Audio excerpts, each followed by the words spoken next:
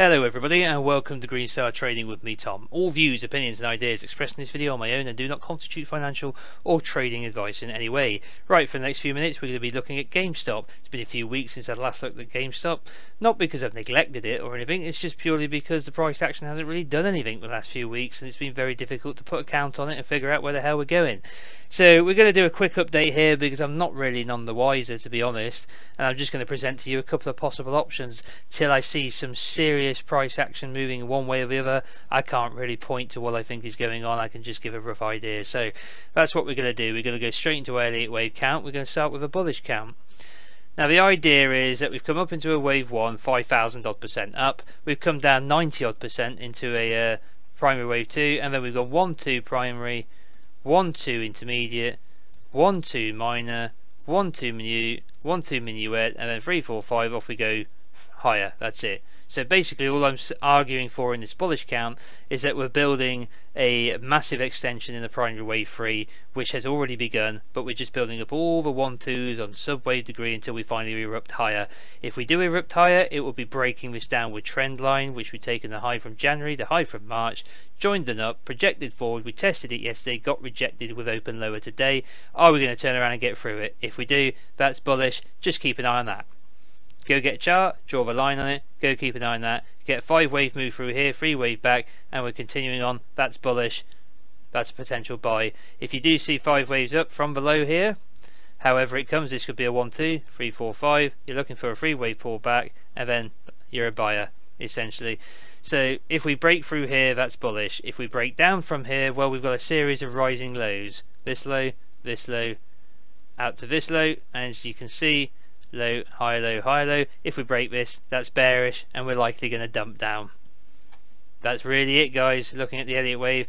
One of the bearish options I've got here is the idea of a flat pattern. We are in log scale now, this makes it a bit easier to see. We've come down in the primary wave 1 down to primary wave 2. Here, I, the labelling's gone missing for some reason. I think it's because it's too far gone in the log scale. We can't see it. Let's just bring it up. Yep, here it is. So we come down into wave 2, intermediate wave 1, and now we're working on intermediate wave 2. Okay, so we've got the same triangular kind of pattern we're working on at the moment. You could argue that we've gone A into a triangle. We're working on a triangle now in a B wave. Okay, before we break down, uh, you'd have to, let's just move this ABC out of the way. I'm not sure how you'd have to label this. We'd have to go A, B, this would be the C, D before the B, E before there, and then you could break down, and you'd be in some kind of triangle, okay, in a B wave. Like, let's have a quick look, something like this, okay. So if you are trading in that triangle, this low should not come back below this B wave here. We have seen a free wave move in the C, potential free wave move in the A. It's a bit tricky to pick out. Free wave move down here originally though. Hmm, I'm not 100% sure about that. If we were going to label it like that, we'd label it with the B here, and the C to come lower than the A, so we'd be coming down below $116. I don't know where to. We'd have to wait to see where this B completes. Then we can take the length of the A and project it from the B to find where our C is going to be. An alternative way of looking at this would be that we've come down in three waves into an A, and now we're doing three waves into a B. So you could say we're going A, B, C into this kind of area, 50 to 61% retracement of this move down, and then we dump in five waves down into a C. This would be a regular flat. If we came above where the A began, this would be an expanding flat. If we came above where the A began but completed before where the A finished, that would be a running flat. There are your three options for a flat pattern. I have no idea which one it is. I just don't. Okay, it looks triangular, but it also looks potentially bullish, but it also looks potentially like a flat pattern. And we're just going to have to leave the Elliott wave there count uh, count there for the moment, guys, as there's just too much going on at the moment, or not going on, I should say. So if you're a bull, look for a break of this upper trend line. If you think that triangle pattern might be light, look for a break of this lower trend line, and then we'll flush down lower.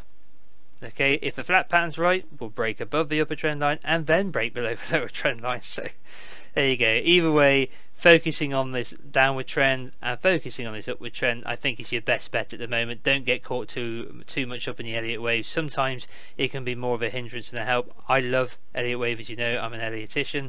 I love this stuff. But when you're dealing with a range that's gone up 5,000 percent and corrected 90%, it leaves a lot of internal space for an internal correction of this major high and this major low. That's a lot of room, and there's a lot can go on here. And when you're dealing with these kind of bubbles, and it is a bubble, like it or not, it is a bubble. Um, you are dealing with a huge space in which you can correct and that's all I can really express it as.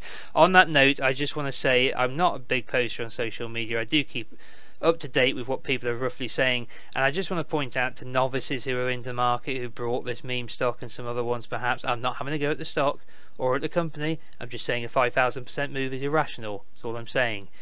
People who brought these stocks near the highs or they've not been in the market for very long like I have for multiple years. Um, there's a lot of impertinence and impatience out there at the moment about when's it going, next going to moon? Is it going to go back to the moon? Look, guys, since going up, a uh, 5,000 odd percent, we've only been in correction for 89 days, 90 days.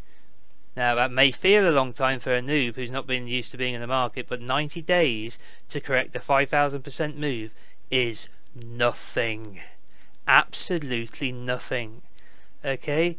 So yes, we could be bullish and we could be off back to the moon in the next few weeks, but this thing could drag on for quarters and for years. It's a possibility. It may never come back.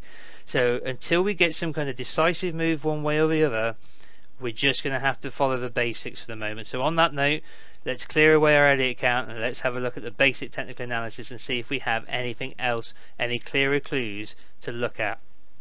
So we have four exponential moving averages 10 in yellow 20 in blue 60 in orange 250 in green we have our volume profile on the right hand side showing the various peaks and troughs of the buy sell volume with the point of extre the extreme point being marked by a yellow dashed line, which is our point of control. We have a MACD with a 10 for the short-term moving average in blue, and an orange for the long-term moving average, which is a 20.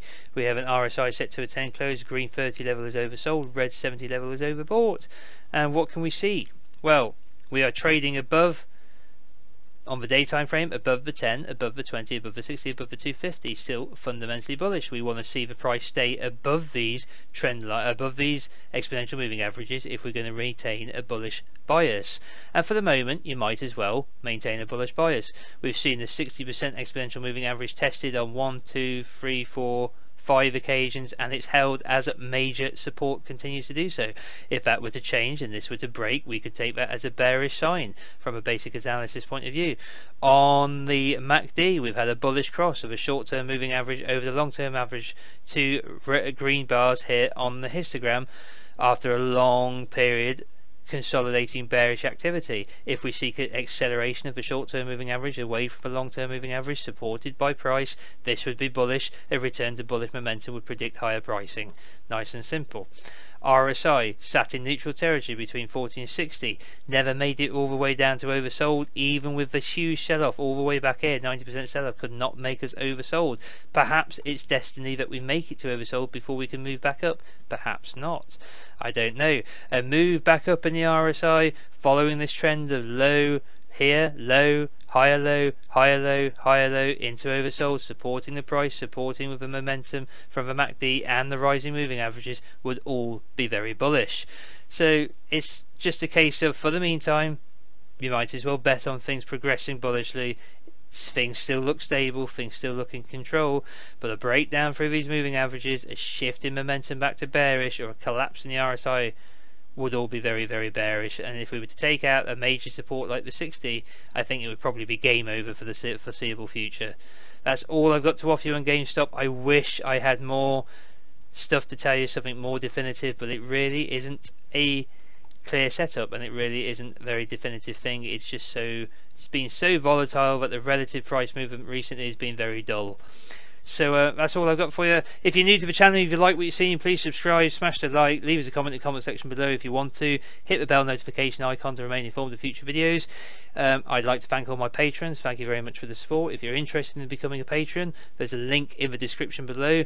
Go and have a look, check out the tiers, but I'd ask you not to subscribe until at least the 1st of May. That way you won't end up paying for April and May together, just May. But we've got a lot of great stuff coming up next month. 26 odd stocks, ex dividends, and payment dates for tier 3 if you're interested in that kind of stuff. Also got a Twitter feed. Please follow me. That's also in the description below as well. Take care, guys, and I'll be back with you soon. All the best. Bye bye.